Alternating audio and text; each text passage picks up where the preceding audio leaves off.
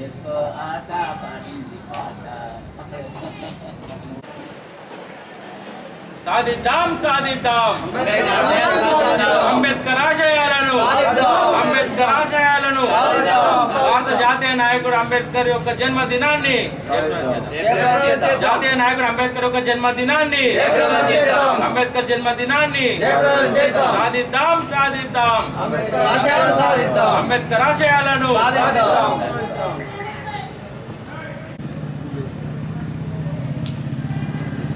బాబాసాహెబ్ అంబేద్కర్ అంటే అమర్ రహే అమర్ రహే బాబాసాహెబ్ అంబేద్కర్ బాబాసాహెబ్ అంబేద్కర్ బాబాసాహెబ్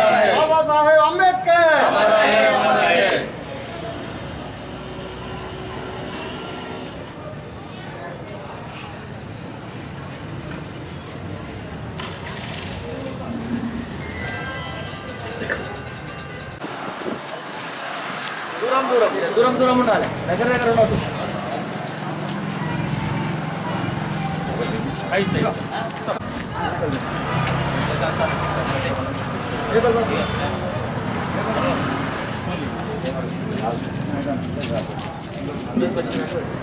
దూరం ఉండవా దూరం ఉండవాలి దూరం దూరం ఉండాలి తీసుకోండి అచ్చా నాన్న తీసుకున్నా నన్ను ఇట్లా తీసుకొచ్చే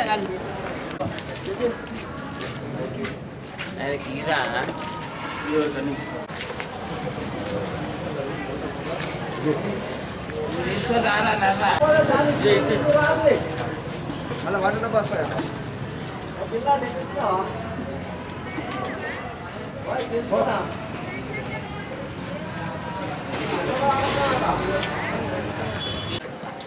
ముక్కుని పక్కకు పెట్టారు ఇవి ఇచ్చే ఇచ్చే ముక్కుని పక్కకు పెట్టాను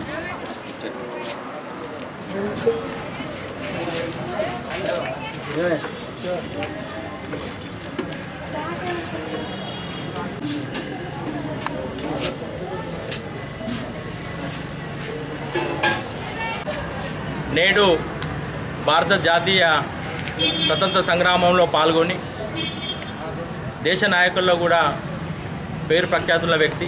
భారతదేశానికి రాజ్యాంగ రచనా సంఘానికి అధ్యక్షుడిగా ఉండి ప్రజాస్వామ్యాన్ని రాజ్యాంగాన్ని బలోపేతం చేసినటువంటి వ్యక్తి గౌరవనీయుడు Shri doctor B R Ambedkar గారి యొక్క జన్మదినం నేడు.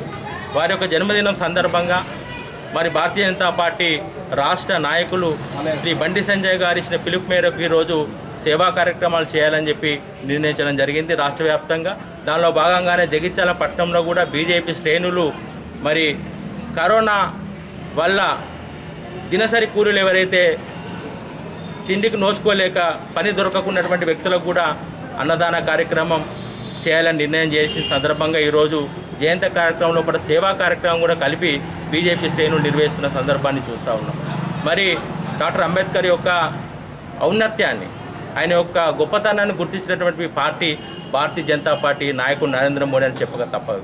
అంబేద్కర్ యొక్క చదువుకున్నటువంటి ఆయన స్థలాన్ని ఆయన నివసించినటువంటి గ్రామీణంలో ఉన్నటువంటి ఆయన నివాస స్థలాన్ని ఆయన చదువుకున్నటువంటి యూనివర్సిటీ మరాఠవాడ పేరుంటే దాన్ని అంబేద్కర్ యూనివర్సిటీగా మహారాష్ట్రలో మార్చిన సందర్భాన్ని అదేవిధంగా లండన్లో ఆయన చదువుకున్నటువంటి స్థలం లోపల ఒక స్ఫూర్తి కేంద్రాన్ని నిర్మించడం ఢిల్లీ లోపల అతను రాజ్యాంగ రచనా సంఘం అధ్యక్షుడు ఉన్నప్పుడు ఢిల్లీ లోపల కూడా అతను కూర్చున్నటువంటి రచన చేసినటువంటి స్థలాన్ని కూడా ఒక స్ఫూర్తి కేంద్రం చేయడం. ఈ రకంగా ఐదు స్థలాలను పంచతీర్థాల పేరుతో నరేంద్ర మోడీ ప్రభుత్వం ఇవాళ భారతదేశ ప్రజలకు స్ఫూర్తి కేంద్రాలు అందించిన విషయాన్ని మనం గమనించాలి.